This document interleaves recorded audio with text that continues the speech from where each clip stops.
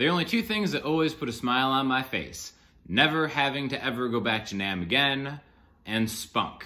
For too long, I've lived the spunkless life. But today we're gonna show how you can kind of add a little spunk to your guitar playing. We're gonna do something in the people's key of 2020, which is the key of D, and it's gonna sound like this.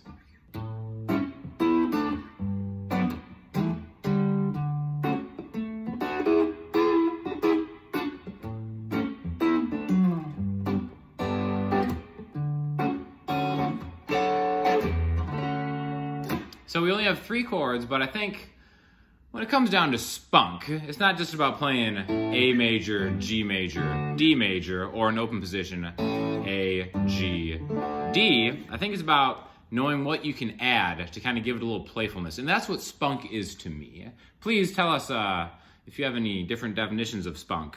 But the way I was raised, spunkiness is the sound that you just heard, okay? So essentially we have three chords. We have A major, G major, and D major. D major, seven. Okay, so for the first one, I'm playing an A, like this, where I'm buying the fifth fret, ring finger seven on the A string, middle finger six on the G string, and leaving the D string open. Just make it like an A7 chord. All right, and then what I'm thinking of when this is the the five chord in the progression. Again, this is in the key of D, right? So D, E, F sharp, G, A. A is the five chord. Dominant seven we're gonna kind of use that and utilize that to add a little bit of extra spunk, a little razzmatazz. And now what I'm gonna do here, I'm gonna jump into a very familiar shape, which is something that you should always know. So if anytime you find yourself on the dominant seven chord in whatever key, again, our root note is the fifth fret of the E string, two frets higher, this is where minor pentatonic exists and thrives, waiting for you to do stuff with, okay?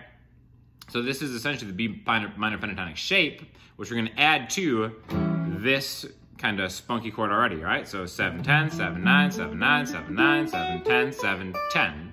So the first thing I'm gonna do, I'm gonna focus on this right here.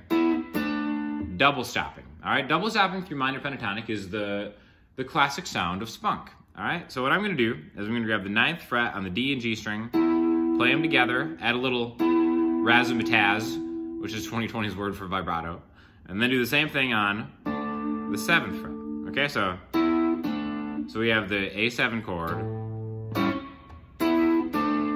just like that. Instead of just playing A7, it's A7, like that. You can even come all the way from here if you want to play open A7. It's just kind of a good connection to make.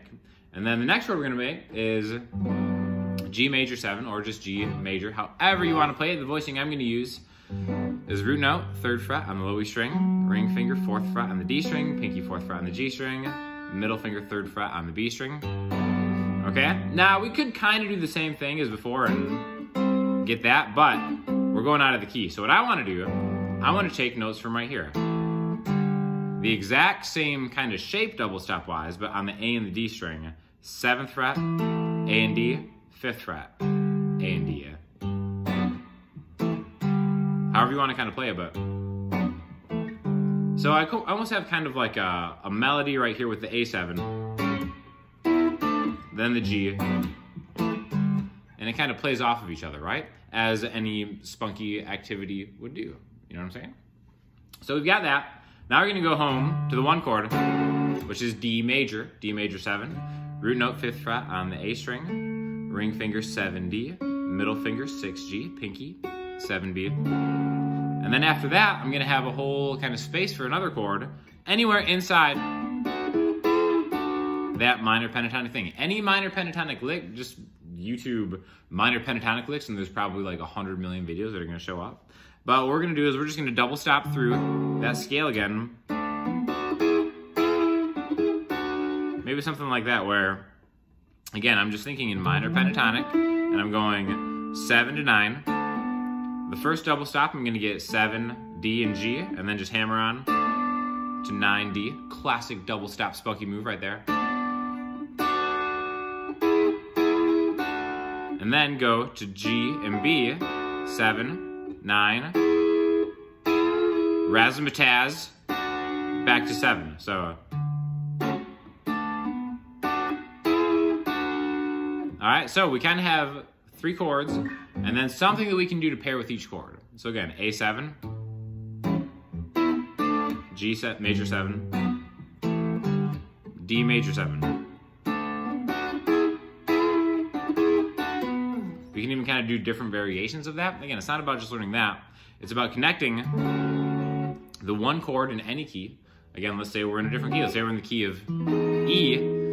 Its relative minor is going to be whatever happens to be in that next shape down right there, okay? So you don't even have to know the names of the notes, it's super helpful to do so. But when you have an E, that C sharp one is right there that you can kind of take double stops from. E minor, or E major seven. Then it's five chord. It's four chord.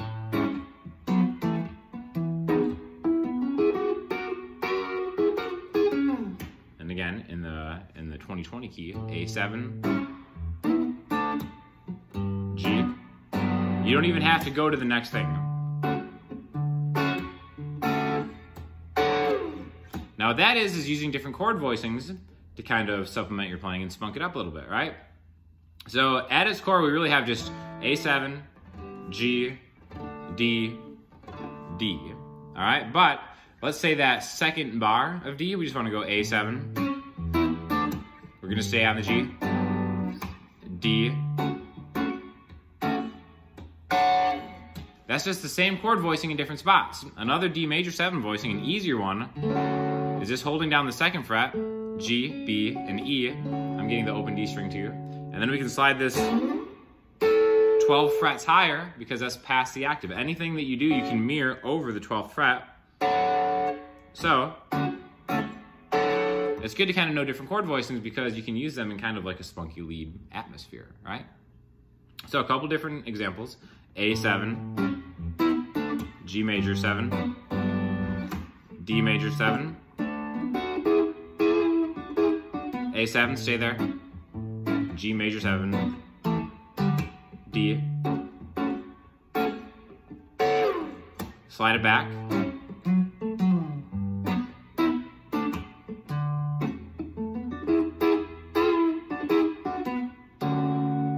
So just a couple different options of what you can do. And I really think that making the connections of a chord and something that you can kind of do melodically, whether you consider that lead playing or just expanding upon your rhythm playing, is an important thing to try. Okay? So, this is just one example. Any of the other chords in the key of D are going to work. I just really think that it's excellent practice to start expanding outside of chords you already know and connecting them with other shapes, whatever those shapes may be. So, thanks for checking it out. Uh, shout out to my cousin for hosting me in Studio B out in LA with her ridiculous Nash Stratocaster that is way better than any guitar that I have. But uh, yeah, if you have any questions or comments, hit me up in the comment section, Instagram, Twitter, the website. I'll talk to you all soon. Thanks.